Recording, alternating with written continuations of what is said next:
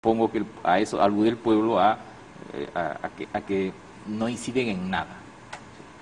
Bueno, y las declaraciones del día de lo que fuese también, ¿no? El fútbol. Se, se instaura el día... Que, que, es muy complejo, porque yo leí un libro, un artículo de, de Lauer que decía, si hay un día, del pisco y de la papa, ¿por, qué no? ¿por qué no puede haber un día de la aceituna?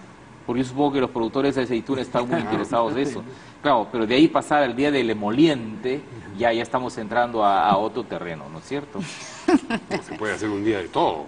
Pero, no alcanzan los días para, para la cantidad de tampoco elementos que hay en el universo. La, la, caída de parlamentarios con cierta experiencia y cierta protección por esta volatilidad electoral, ausencia de partidos y todo lo demás. Eh, decíamos en un momento, nunca se han visto cifras tan malas y tú decías, por ahora, ¿no? Vamos a ver el próximo mes.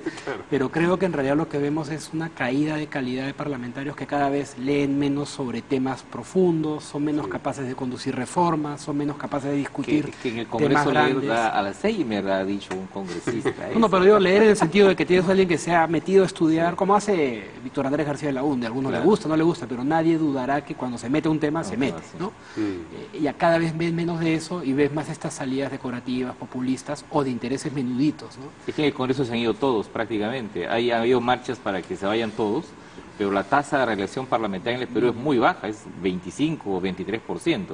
O sea, el sueño de que se vayan todos ya ha funcionado hace 20 años en el Perú. Pero vienen otros iguales. o peores. Pero no solo eh, no es que se vayan todos, yo creo que también que se vaya todo. Porque junto a eso se han ido obviamente también las ideas. ¿no? Muy bien, vamos a la pausa y vamos a regresar con lo que ha declarado el alcalde Lima sobre este proyecto, el Parque de los Héroes de la Democracia.